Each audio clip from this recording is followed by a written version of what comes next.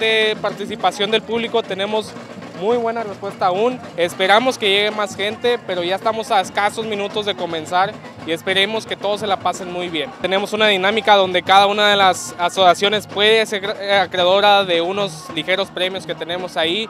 También lo que es el premio principal, que son el primer lugar, el segundo lugar y el tercer lugar de la competencia pues prácticamente es un evento de diversión, de competencia para ver quién es el acreedor de este beneficio de, premio en efectivo y esperemos que sean asociaciones que realmente lo, lo, ocupen como cada una de ellas en esta ocasión. Muchas asociaciones, nosotros hicimos un listado oficial donde estuvimos buscando cada una de ellas que ya hemos trabajado o que ya sabemos de su larga trayectoria en Nuevo Laredo y por eso nos dimos la tarea de estar comunicándonos con cada una de ellas. Sabemos que son asociaciones de mucha importancia en Nuevo Laredo, algunas con mucha trayectoria y que hoy en día agradecemos que estén presentes el día con nosotros en este evento.